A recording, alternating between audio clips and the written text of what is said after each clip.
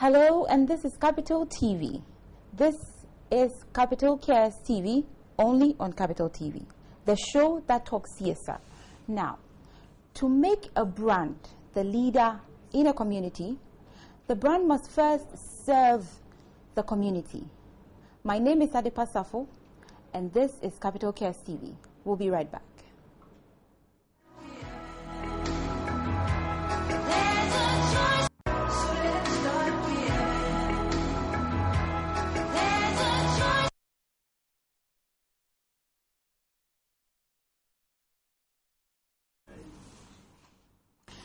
Hello and welcome back to Capital Cares TV on Capital TV.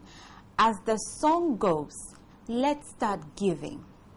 Now, uh, many, many, many, many times, or I should say year in, year out, companies go out there giving out to society, to the community.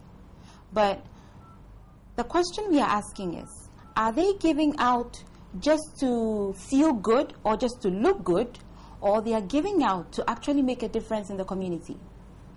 This is what this show is all about.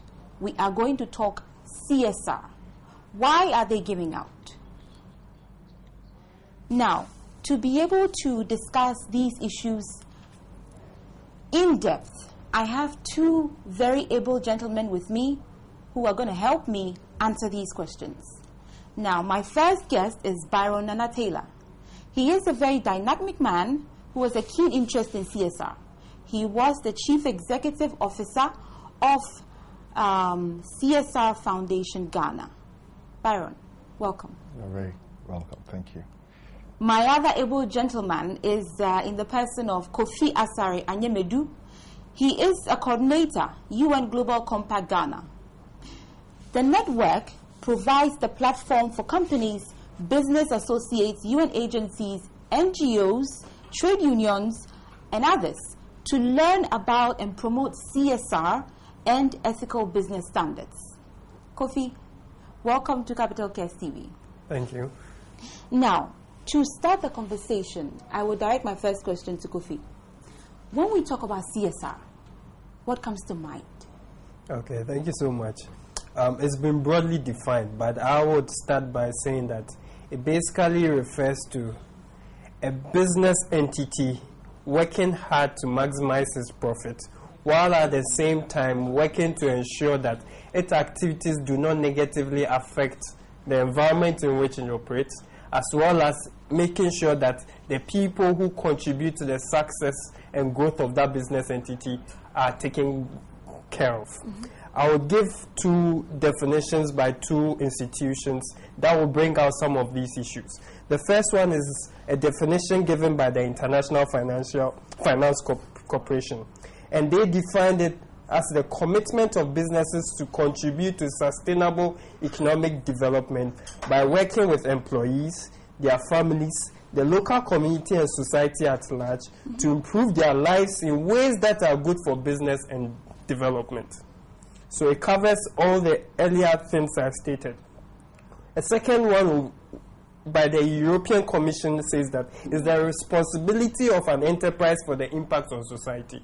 So we are saying that the business entity is not out to only maximize profit, but it also operates so that its business, its operations do not negatively affect the environment which supports its existence, as well as the people who are the greatest assets are also taken care of to give back to the growth of the country, the, the, the community, the company, as well as the entire thing. Thank you. Um, Byron, he's giving us the definition for CSR. But before I go any further, I want you to tell me how did CSR come about? Has um, it been there or something prompted it? Historically, we can trace CSR to um, activities of business leaders who, after making so much money, I mean, a story of told about the great American businessmen who Carnegie, um, uh, Ford, and co. After making a lot of money, realized that they have to give back to the society. So they set up foundations that were able to give back to the society. But that, that is corporate philanthropy. And CSR has grown over the years. And to add to Kofi's um, definition, CSR must be systematic and must be planned. And it's an ethical behavior. I mean, people argue about the ethical elements of CSR, but it is very important element that cannot be taken away. So it firstly must be planned, it must be sustained, it must be systematic, and then it must be ethical. Okay. Then does it mean that CSR is equal to corporate philanthropy? No, no. From from what I am saying, it means that CSR goes beyond um, philanthropy. Philanthropy, yes, it is one of the issues that we have in CSR, but corporate social responsibility goes beyond um, corporate philanthropy. We can we can talk about so many issues when it comes to um, CSR.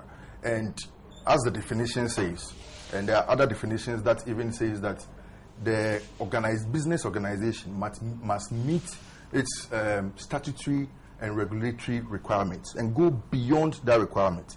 So i- if philanthropy is going beyond that requirement, then it is CSR. But then there are other issues: the health of your your your uh, employees, um, the community in which you operate in, Yeah. um, and corruption. Corruption is, is a key CSR issue. Human rights. There is another story about um, a business entity that, that used their contributions in the in the community in South Africa. They withdrew their business because they felt apartheid was wrong, and that is one of the basics in human rights when it comes to CSR. So you you, you, you would agree with me that giving in the name of philanthropy Yeah. is good. I mean, and you cannot take the fact away that philanthropy is, bi- is CSR, is part of CSR, or is one of the key issues in CSR.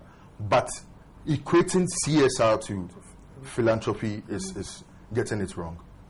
Kofi, earlier in his submission, he said that when it comes to the history of CSR, uh, big organizations realized that they made so much money, decided to give back. Now, in this case, what happens if the organizations don't make profit? So that's why I was saying earlier on, you really need to appreciate and understand what it is. It's not only about making profit. You need profit to stay in business, but then there's the internal aspect and also the external. So, so once you take care of the internal, you can confidently go out and do. I always say charity begins at home. You start within, put a number of things in, in place, increase productivity, put in place a number of systems that would make sure that you effectively do things, cut down on a number of things, bring in innovative things that will make sure that you, you, you operate while making something. Then you could effectively give out something.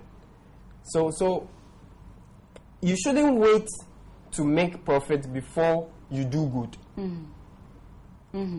Mm-hmm. You should put things in place so that the year in and year out you'll be doing a number of things that will ensure that you stay in business. Mm-hmm. To, to, So- to, to add to Kofi, um, you, if you understand CSR and where it is going, you would then know that you need to integrate CSR into your core business itself. There, you treat CSR as part of cost. So you, you don't make profit and then start thinking about CSR. But CSR is in the process of you making your profit.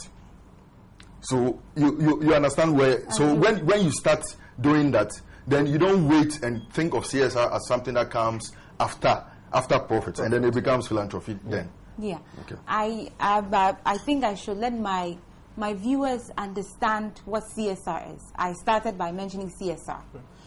CSR, as we are talking about, is corporate social responsibility. The short form is CSR. Now, Byron, this debate going on about CSR being mandatory or voluntary, what is your stand? very interesting, and thank you for um, explaining CSR. I mean, we are too involved in the concept for a long time. We we take it for granted that if you say CSR, everybody knows CSR. But uh, so before you continue, he's going to give me his point Mm. or his his uh, position on Sure. that debate, and you would also give me your Okay. position. Okay, thank you. Um, very interesting, very interesting. And I always admit when this question is being asked, because when I initially started my research on CSR, and I'm very passionate about development issues of Africa, so then I thought that business has a huge role to play in the development of Africa. So uh, if we have a way of mandating business to contribute to development, then maybe it is it is okay. But reading on further, I think that that idea wasn't the right um, um, thinking. CSR um, should be a voluntary um, exercise by, by organizations, and and um, by voluntary, um, you you willingly contribute to development, as as as we, we want to put it, and the reason why I felt de- development forms the basis for for CSR to be man- mandatory has now changed because I think there is an opportunity for partnership. And that aspect of partnership would solve the problem of what role businesses can play to partner governments and civil society to, mm-hmm. to help in sustainable development of the continent. Mm-hmm. So partnership for me is more key than mandating organizations to to to to contribute to society. There's a danger there uh, too also because um, if you say CSR is mandatory, so what are we going to say to business at the end of the, eh, the year? Give what 200 million as your CSR Yeah. to the community or to, to, to government, central government. But I mean, there are organizations there who are doing a lot of things to contribute. And if you say this is what I expect you to do, and they do do that, they are not going to go beyond what they can do. So- what the, it is expected from them. But if you leave it, and then it is, and I always, it, it is a matter of conscience. It's a matter of ethics, and it's a matter of good thinking.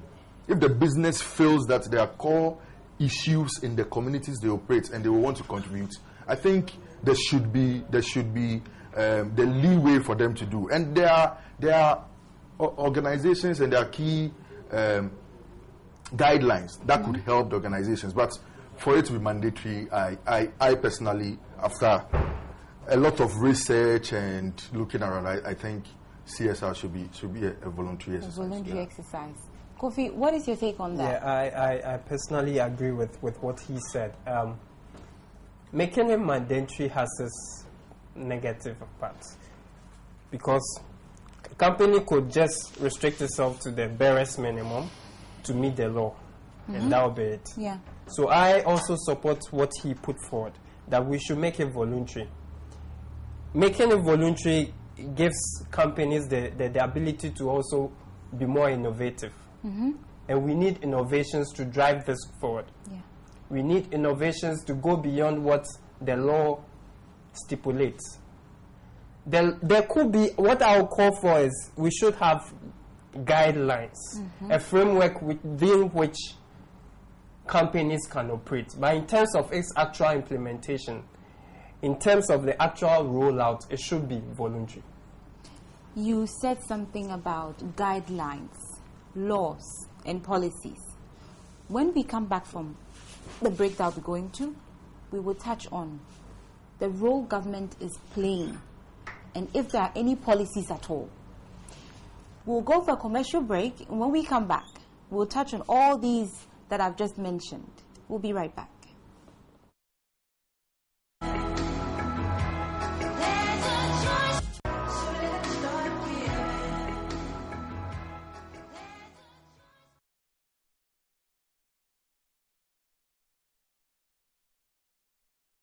Welcome back to Capital Cares TV, only on Capital TV.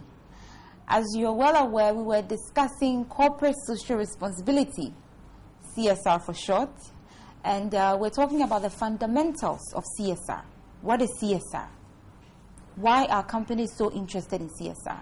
Before we went for the break, I announced that when we come back, we are going to talk about the role government plays in CSR. Kofi, I have this question on the role government is playing on CSR. But then I will direct it to Byron, and then after that, I would like you to tell us what is the difference between CSR and CSI? Byron, what is the role government is playing in CSR? Um, obviously, and from my orientation, you know, I, I always like to link CSR to development. I mean, sustainable development. uh, that's the right word to use when it comes to corporate social responsibility. So, um, the agenda of governance is to develop. So, if you have a key partner, which is business, that is helping you to develop, there are things that you have to put in place. You have to create the enabling environment. It's one, it is key. Also, um, there is a key issue in CSR, which is a legal, legal re- requisite. When I was talk, talking about definition, I, I, I, I mentioned the planned nature, the system, systematic nature, the ethical nature, and then going beyond your uh, regulatory and then statutory requirements. Those regulatory and statutory requirements are set by government. So government need the role government need to play in CSR is for them is for government to institute the right laws and policies for corporate bodies to adhere to. That's the first step for me in the CSR framework. So government has a key role by firstly holding corporate bodies accountable to the legal um, requisites that they are supposed to meet in the country. So we need to set the right laws.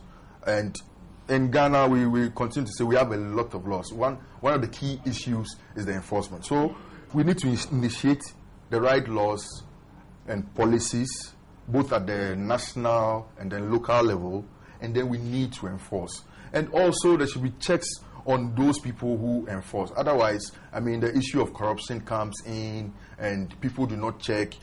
Uh, organizations are supposed to do environmental impact assessment, but you, you have people at the local level going to do all kinds of things and give the reports, and because there's no follow up, then um, the community gets shortchanged environmentally and all that. So look, it is important. Government has a key key role to play in, in the CSR framework.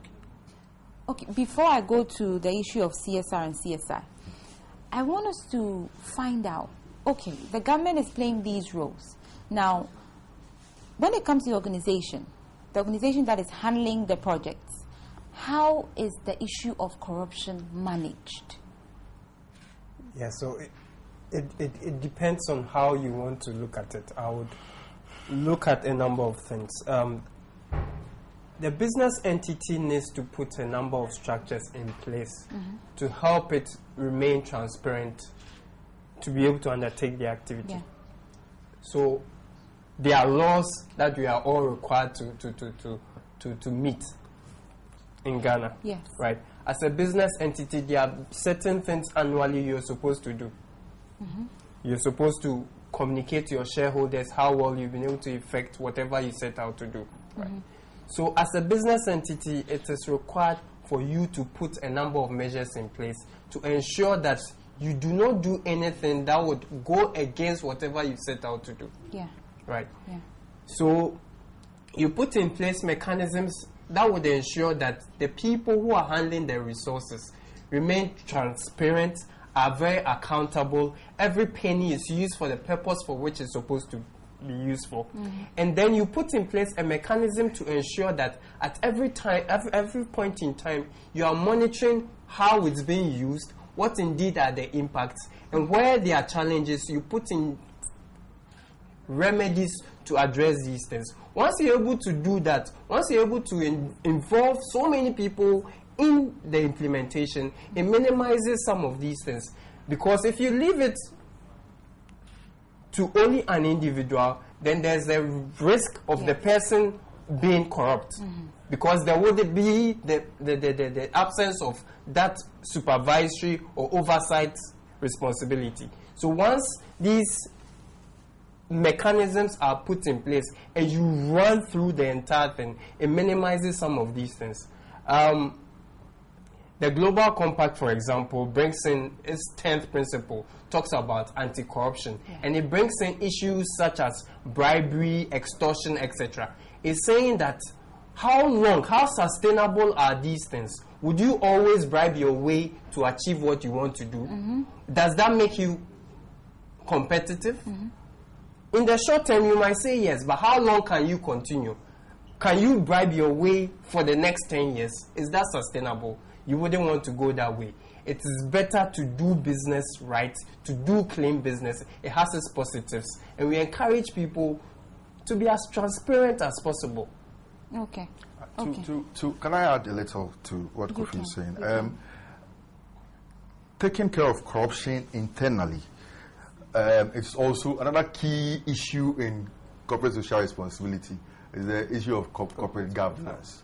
So um, internally, you should be able to put in structures that that would align or outline how expenditure is made at, at the smallest level to the highest level. Yeah. Uh, uh, the accountants will tell you there should, there should be a paper trail for everything. So it is it is very key that whilst you are dealing dealing with the internal issues, uh, the external issues that people know about, and when when whenever. CSR is corporate social responsibility is mentioned, they think it's external. External. But then there are key issues internally Mm-hmm. that has to be taken care, eh, care of, and corporate governance is one of the key things that will check the ethical behavior in the organization internally. So you do your homework from in-house before you take it outside. The time has been so short. We have a lot of issues that we should have covered, but I want to plead with my viewers that due to time constraints, we will continue this topic, God willing, next week with my guests, Byron Nana Taylor and Kofi Asare Anyemedu. Thank you for staying with us. God willing, next week, same time, same place. Meet us here on Capital Cares TV, only on Capital TV. This is the show, as I will keep on saying, that talks CSR. Let's start giving. Have a blessed evening.